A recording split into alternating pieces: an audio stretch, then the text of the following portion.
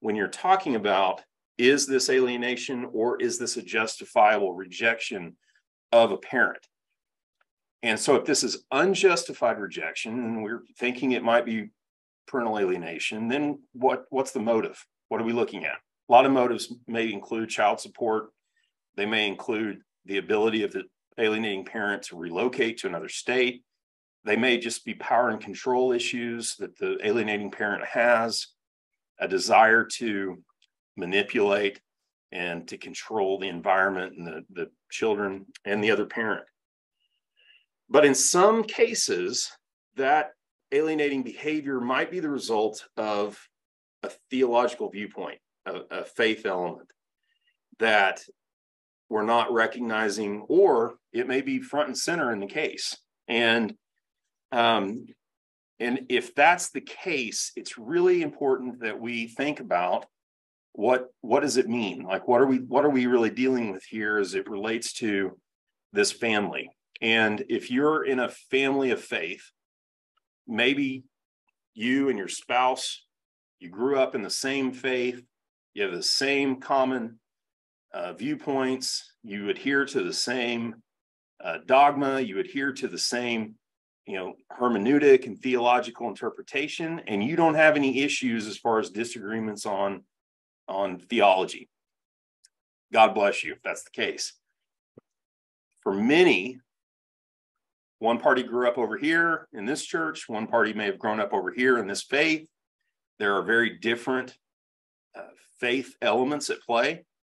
Maybe they go to church together maybe one goes to the synagogue one goes uh, to a church. Maybe one doesn't go. Maybe one goes over here. Uh, maybe you've got uh, someone uh, of the Jewish faith, someone who's Catholic, and they're married. They're making it work, but then something happens that leads to a divorce.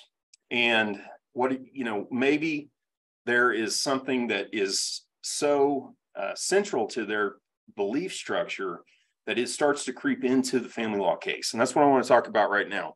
Um, because I've started to see it in cases uh, as they come to us. We're starting to see where issues of faith come into play. Now, I've always recognized that there were cases that wanted to establish infidelity for religious reasons because there was there's always been an element of you know if if there is evidence of infidelity, most faith groups adhere to a, a, the idea that infidelity is a justification for divorce. Uh, and I don't want to get into issues of, of interpretation, dogma, and all these things, but I'm, I'm just generally speaking, wanting to look at how these things uh, impact divorce cases and custody cases as it relates to parental alienation.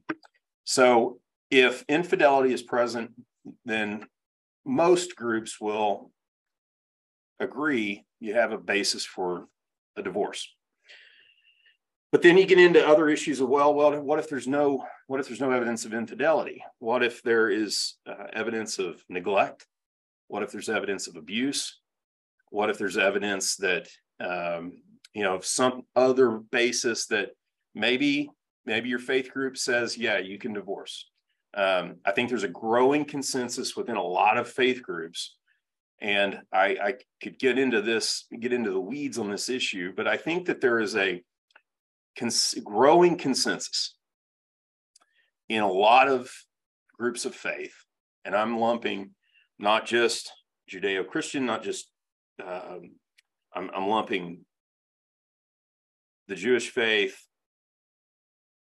Catholic faith, uh, Protestant faith, um, many of of our mainline faith groups in the United States are beginning to adhere to more of an idea that you can divorce based on abuse and neglect and infidelity. So, for purposes of this talk, let's just assume that those are three areas where the party can justifiably divorce their spouse within their faith group. So I want to pose a couple of hypotheses.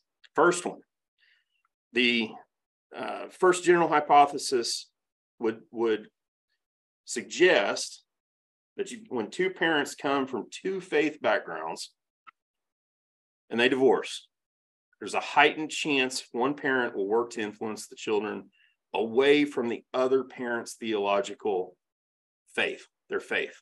So, hypothesis one, you got a married couple from two faith groups, two faith backgrounds, and they're going to get divorced. Does one parent adhere so strictly to their faith that they begin to try to manipulate the children away from the other parent for that purpose?